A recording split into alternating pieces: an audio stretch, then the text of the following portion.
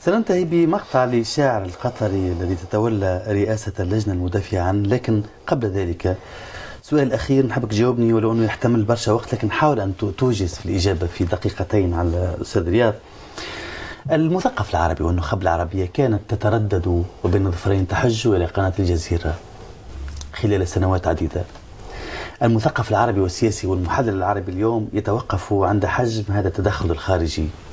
وهذا المشروع الناجز نظريا على الأقل لدى القوى الكبرى في اتجاه إدخال الخارطة العربية في بؤرة آه، تطاحن وتقاتل داخلي من أجل حل حلول اقتصادية كبرى تعيش نعم. هذه الدول.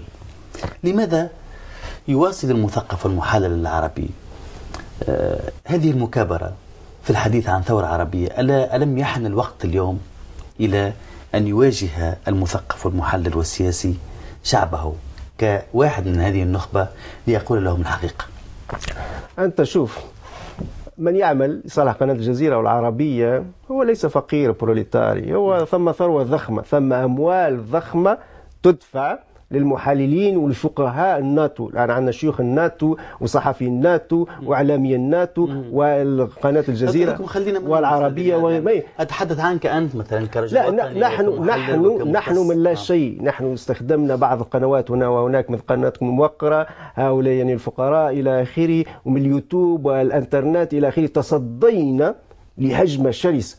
وعضعت فيها مليارات الدولارات واشتري فيها 90% من الصحفيين والكتاب والمثقفين وشمال المثقفين العرب من أجل أن نضرب الوطنية وندمر الوطنية والاقتتال الداخلي وتخريب والدمار الذي يعيشه الوطن العربي رأي سوريا من الدول القليلة اللي تصدر في القمح.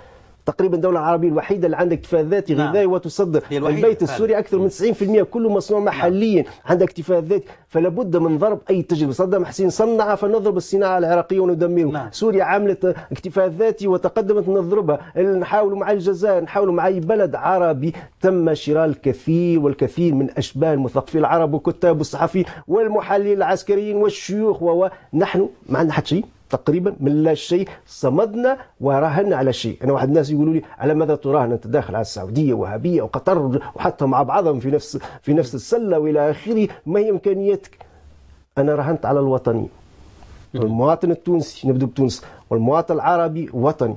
في تونس ما زالت عندنا ذكرى الدغباجي وبشير بسديرة وخليفة بالعسكر ومحمد مصباح الجربوع. في مصر عندهم نفس الشيء شاكر في الجزائر. وفي الجزائر بوعمامة ومقراني إلى آخره. وفي المغرب عبد الكريم الخطابي حتى الملك محمد الخامس لما نفيوا واعتقلته السلطات الفرنسية إلى آخره. شوف أنت الخريطة. في كل الدول أو أغلب الدول العربية ثم رموز قاومت الاستعمار وحركه التحرر الوطني أعطيني شخصية واحدة في قطر والسعوديه تعرفها قاومت الاستعمار.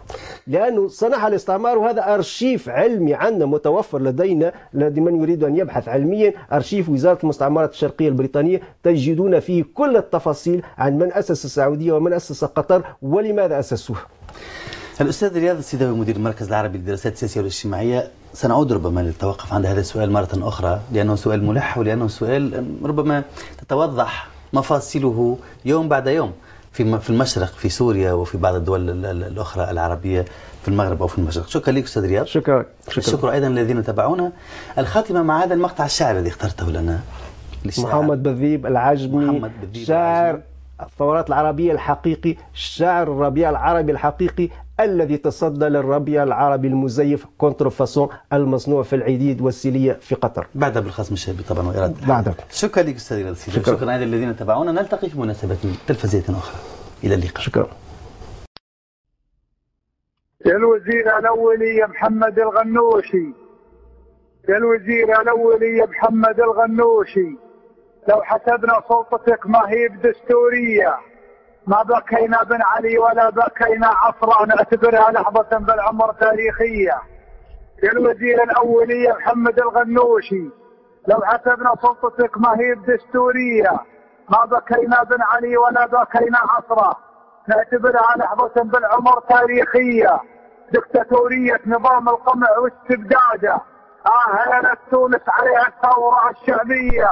عندما من ما ندم الله حقير واطي ونمدحنا نمدح بقناعة شخصية أجج الثورة بدم الشعب يا ثائرها وانحت انجاز الشعوب الكل نفس حية قل لهم بصوت منكفنا يشله كفة كل نصر تستبق أحداث مأساوية.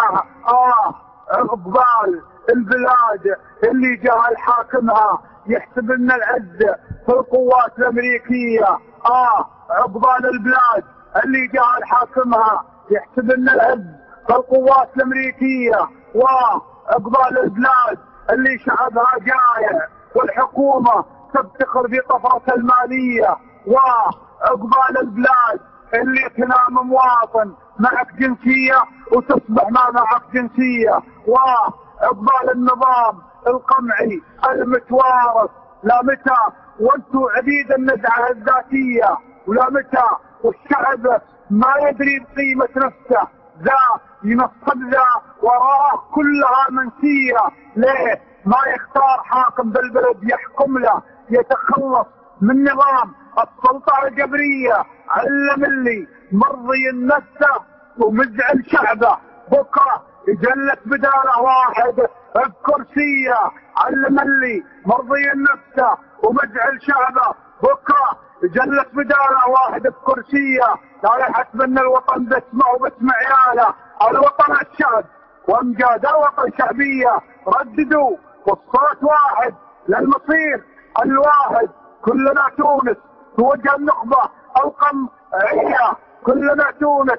توجه النخبة القمعية الحكومات العربية ومن يحكمها كلهم بلا بلا استثناء حرامية السؤال اللي يؤرق فكرة المتساهل لم يجد إجابته من كم جهة رسمية دامها تستورد من الغرب كل أشياءها ليه؟